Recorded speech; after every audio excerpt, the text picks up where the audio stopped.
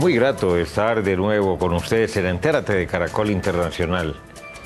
Y nada más y nada menos que con Paola Turbay, la señorita Colombia del año de 1991, la actriz de cine, la actriz de televisión, la presentadora de televisión.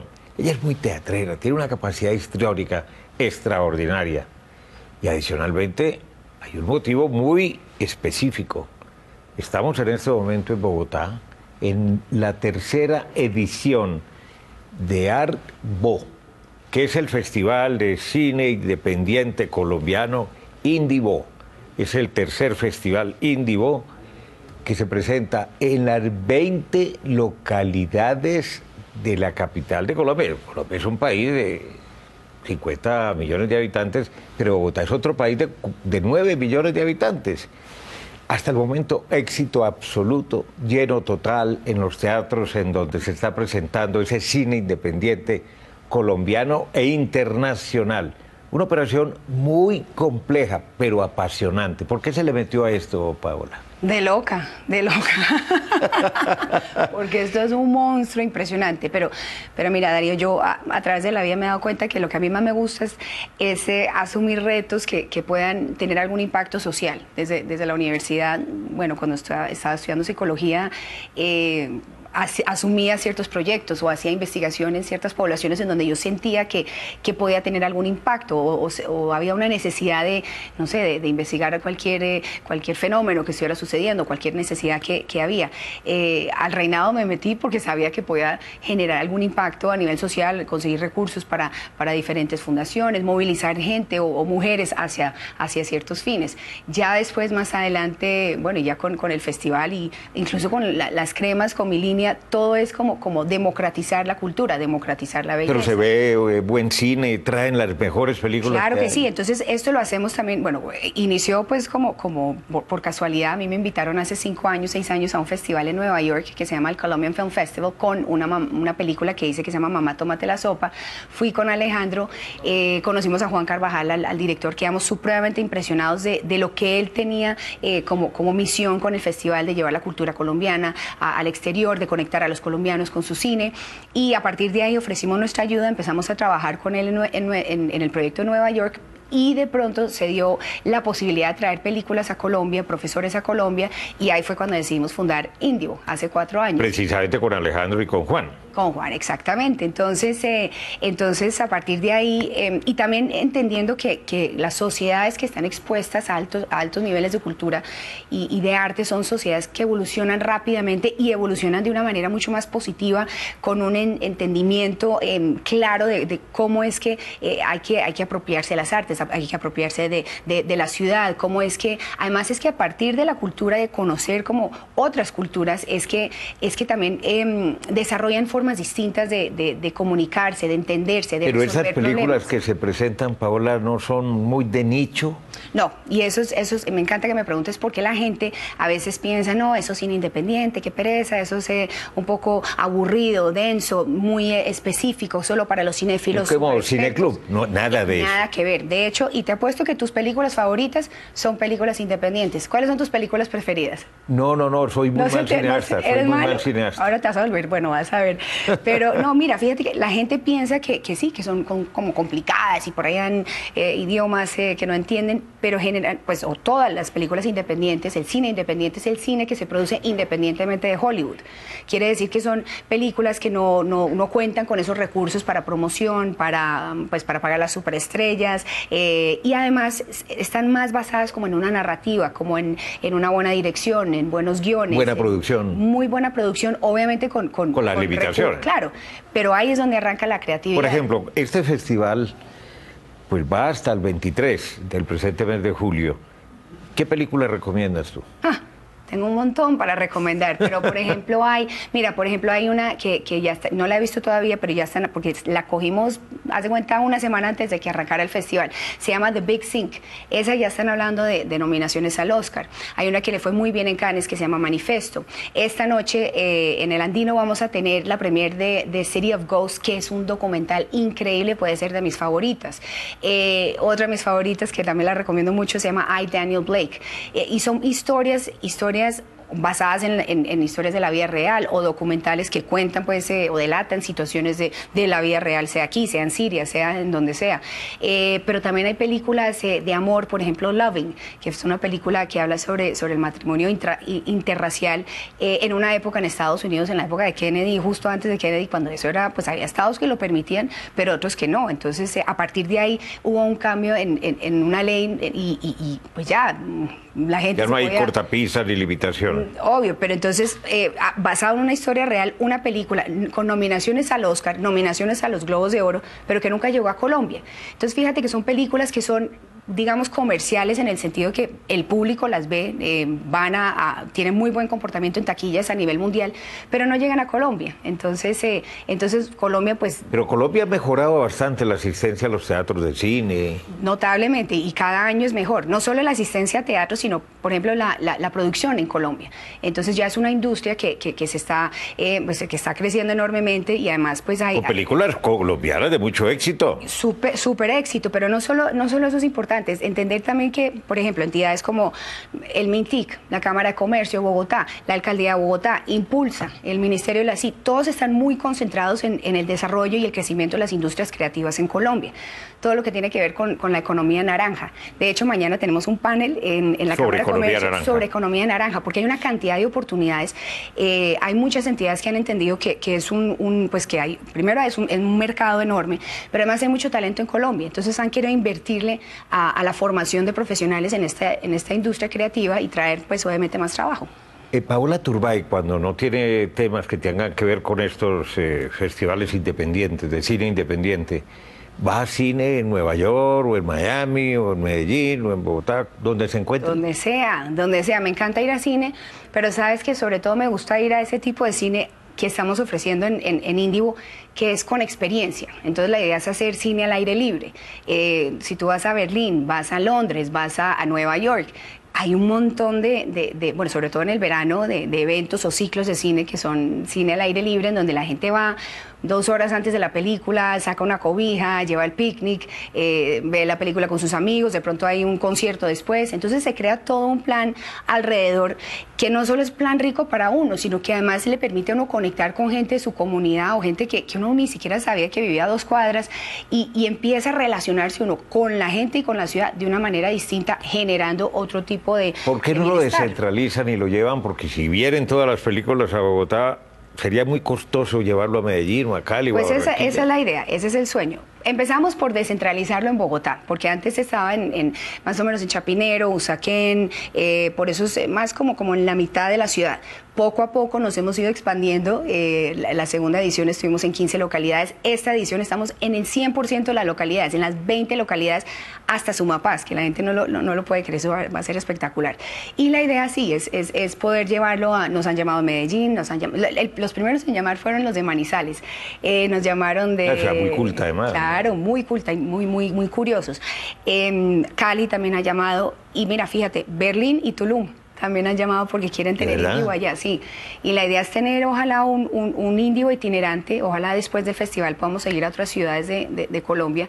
Em, lo que pasa es que eso es, muy costoso, sí, sí, es supremamente costoso. La gente no se imagina lo costoso que puede ser eh, producir un festival. Pero, pero... alquilar teatros también, es eh, pues pagar unos derechos. Nosotros tenemos que pagar, un, sí, por las películas que vienen, además hay que traducirlas, hay que subtitularlas, porque esas películas están recién saliditas al, al circuito festival entonces nunca han sido traducidas al, castellano, entonces hay que empezar por hacer eso.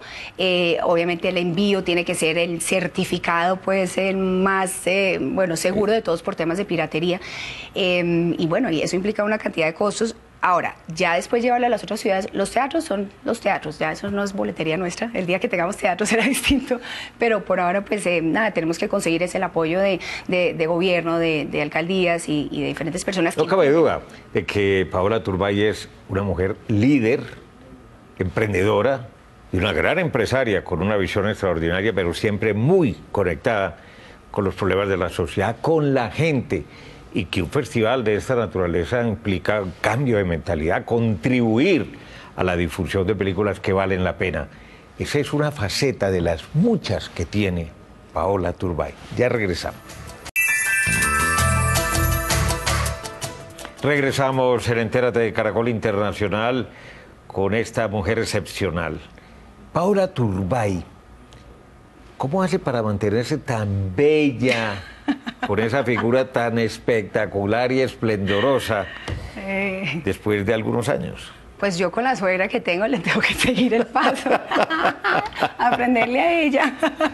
No, no, no, no, mira, yo, a ver, yo- para mí no es eh, una preocupación en la vida, yo nunca estoy pendiente de eso, de que tengo que mantenerme bella, no, yo creo que eh, yo me preocupo más bien es por mantenerme saludable, eh, con, con, pues con buena, no sé, con buen ánimo, con, con buena, mira, para mí la salud es, es, es fundamental.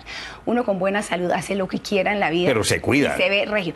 Pues sí, pero, pero más que por, por verme bonita, es lo que te digo, Por salud. temas de salud. Entonces, por ejemplo, hace, hace muchos años nos volvimos vegetarianos porque logramos entender eh, que, y, y- y está ¿Toda la familia? Toda la familia, aunque mis hijos pecan cuando no Claro, están en la porque casa. bueno, Emilia y Sofía pues están muy chiquititas, bueno, más o No, menos. ya, pero, pero, pero lo que entendimos es que el exceso de proteína animal es, es lo que genera hoy en día todos los males del, del siglo XXI, eh, problemas del corazón, cáncer y diabetes. Entonces, eh, entonces lo que quisimos fue, pues nada, simplemente eh, cuidarnos y, y- y redujimos notablemente o sustancialmente el... el- la- la ¿Usted no come ningún tipo de carne? No, no, no, a veces... ¿Pollo tampoco? No. ¿Pescado? No, sí, pescado un poquito, sí, un poquito. ¿Mariscos? Eh, no, trato de no comer mucho Entonces, ¿qué marisco. come? Ent- me prote- pues la proteína vegetales.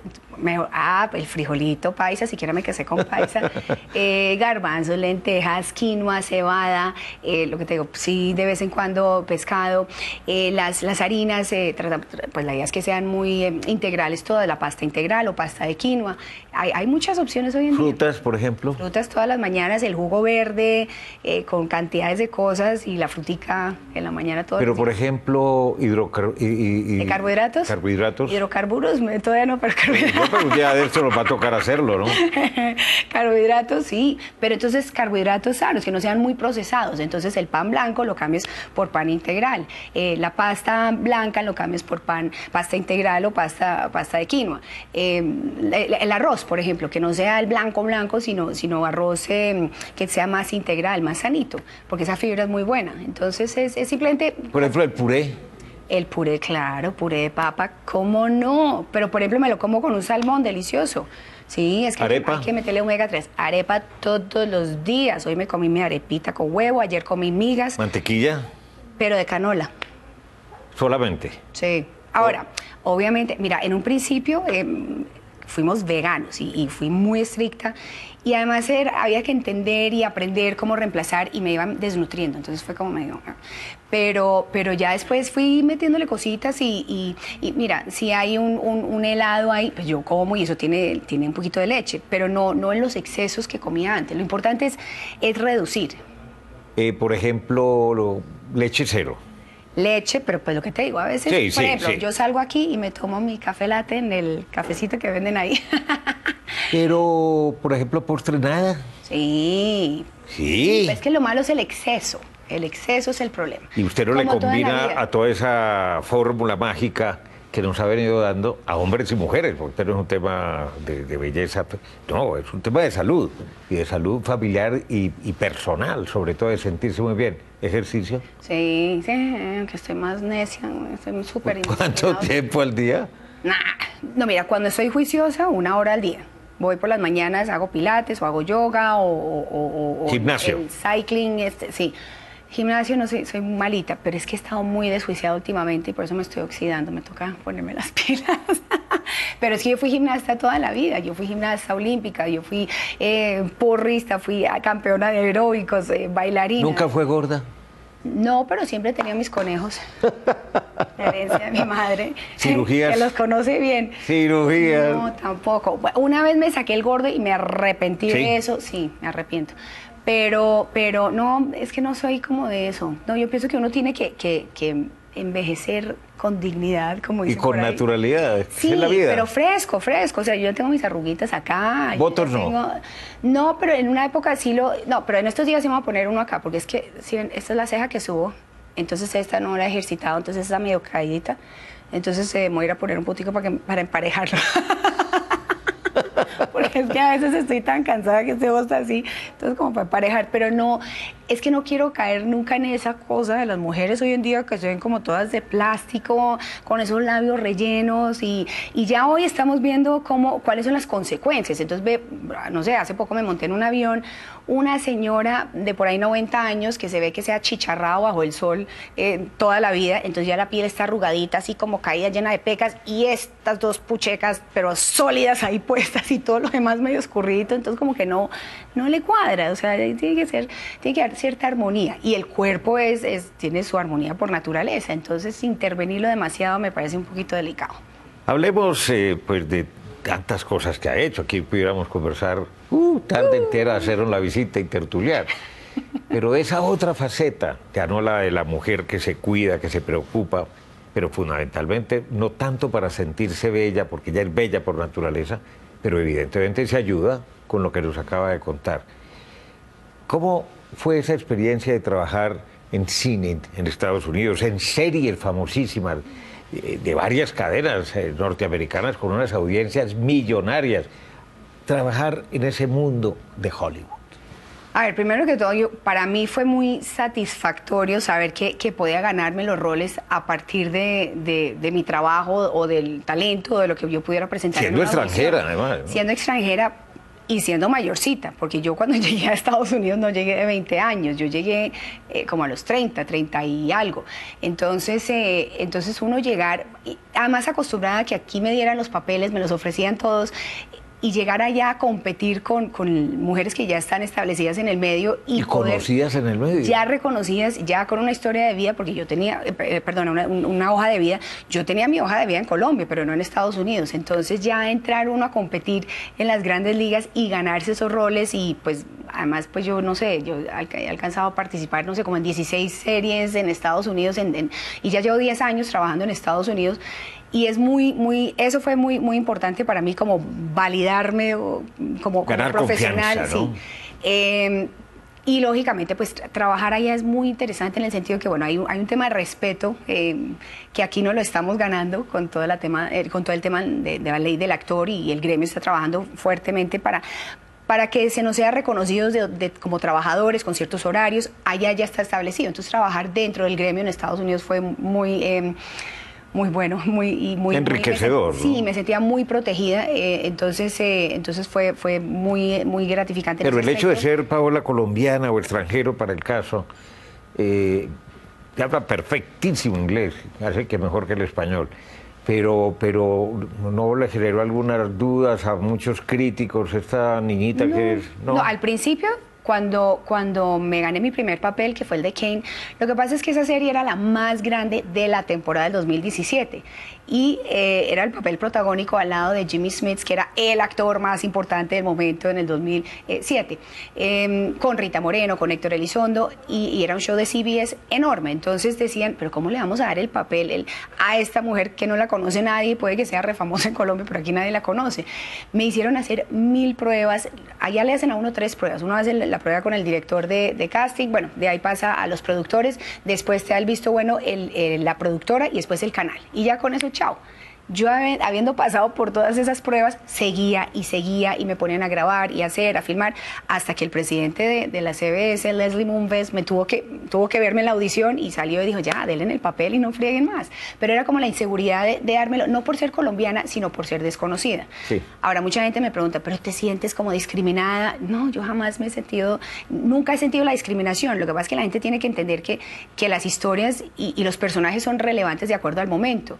Puede que hace 20 años los latinos no tuviéramos el rol que tenemos hoy en día a partir de Kane, por ejemplo, fue un programa muy especial porque, em, y sobre todo para la comunidad latina, porque era la primera vez que los latinos éramos personas influyentes de poder en la, en la economía de Estados Unidos, en la política de Estados Unidos, y no éramos los ladrones, mafiosos eh, o, solo eh, conductores o empleadas del servicio. Entonces, eh, que era el, papel normal para un latino, que está bien, pero, pero, pero cuando hay latinos que tienen otros roles dentro de la sociedad, uno quiere verse representado así dentro. Y lo logró, lo logró indiscutiblemente. Un papel que jamás aceptaría. ¿Un papel que jamás aceptaría? No, más que un papel, una producción. Eh, porque yo pienso que todos los personajes son interesantes y, hay que tener mucho cuidado de no juzgar a los personajes. Eh, a ver, me, me, me, gusta que los personajes sean, sean, tengan su, sean bien conflictivos o bien complicados o bien eh, eh, disfuncionales, es lo que más me gusta. Pero yo pienso que a la hora de, de, de aceptar un personaje, yo miro a la producción, que, que, tenga un buen guion o un buen libreto, que tenga una buena dirección, otros eh, unos personajes y que sea una buena historia, porque si no, pues no, no me interesa. Ya regresamos en Entérate de Caracol Internacional porque hay más historias que es interesante conocer directamente de ella. Algunas preguntas cortas para respuestas breves de Paola Turbay. Si tuviera 21 años, ¿aceptaría ser candidata por Bogotá al Reinado Nacional de la Belleza?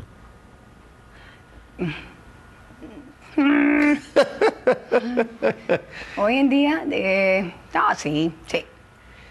Eh, de todos los directores que, que tuvo realmente los noticieros colombianos, ¿con cuál se entendió mejor? ¿Con cuál tuvo más química? ¿A cuál admira más? Que los tuvo a todos. Tuve todos los noticieros que ahí la peleaban. Pues lo que pasa es que yo adoro a Yamid Amad. Es, él es papá de todas. Eh, lo amamos. todas sus, sus girls. Le decimos, tenemos hasta un chat, Yamid's Girls. ¿Alguna vez le ha fastidiado sentirse tan mujer pública que todo el mundo quiere un autógrafo, una fotografía suya, el run run? ¡Ay, Paula Rumay! No, afortunadamente tengo déficit de atención, o sea que solo le pongo atención a lo necesario. Ni se entera. Ni me entero. Me entero de las cosas bonitas, la gente es muy cariñosa. ¿Qué significó para usted ser sobrina de Julio César Turbay Ayala? Tener la misma nacionalidad. pero, lo, pero mira, lo, conoció, orgullo, lo trató. Sí. Mira, fue un orgullo, un hombre de verdad, esos especiales, inteligentes, eh, de admirar, una persona para el cual todo el mundo era importante. Te conocía hoy y en 20 años te volví a ver, sabía tu nombre. Sí, una memoria. Una memoria increíble, pero además eh, lo más importante, yo creo que una, una, una entrega y al país y, y, una preocupación por... Cultiva la familia por de él, sus primos y todo. Claro, mis primas y, y, bueno, mi papá es también, las primas de él, las hijas de mi tío Julio César son prácticamente sus hermanas, o sea, somos, somos muy, muy, muy, muy unidos. Nos ¿Cómo define a sus suegros, a Olga Clemencia y a Álvaro? Los más lindos del mundo. Yo, mi suegro, siempre le digo que es mi suegro, el, mi suegro preferido. Y Clemen es divina. Yo siempre le he dicho a Sofía, mi hija, tú no nunca quieras ser como tu abuela Elena ni como yo, mi mamá. Tú fíjate en tu abuela Clemen, ella es la más sensacional, porque es que mi mamá y yo somos las más trabajadoras, las más, me hecho, nos metemos en unos rollos, nos, de verdad yo siento que... que eh, ella se disfraza, eh, yo me disfrazo hola, pero se disfraza en todas las fiestas, Mira. es la que más lidera las fiestas, la que más rumbea, la que compra disfraces, es, es de un humor espontáneo Cuenta chistes, cuénteme un chiste. Yo contaba chistes, ya no, ¿Ya no? pero me pones a contar chistes y me acuerdo son de los groseros. Eh, ay, el otro día tenía uno apuntado para, así cuando me preguntaran eh, en se, televisión. Se la cambio, se la cambio. A ver, cámbiamela. Una más fácil. Es descendiente de libaneses, ¿conoce el Líbano? Todavía no. Y lo tengo, sí, es vergonzoso. Lo que pasa es que Alejandro sí lo conoce y me está debiendo ese viajecito, pero como, como ya lo chulió, pero es más, me voy a poner el, el, propósito de ir este año o el año entrante máximo. ¿Qué siente por Alejandro Estrada, su marido? Amor eterno. Amor eterno. Muy bien, esta es eh, Paola Turbay, aquí en Entérate de Caracol Internacional. Y recuerden que ustedes pueden seguirnos en Twitter a través de nuestra cuenta arroba entérate caracol. Y también pueden escribirnos a través del correo electrónico entérate arroba caracoltv.com.co. Visite nuestra página web www.noticiascaracol.com barra entérate. Allí podrá acceder a todos nuestros capítulos y los espero como siempre la próxima semana.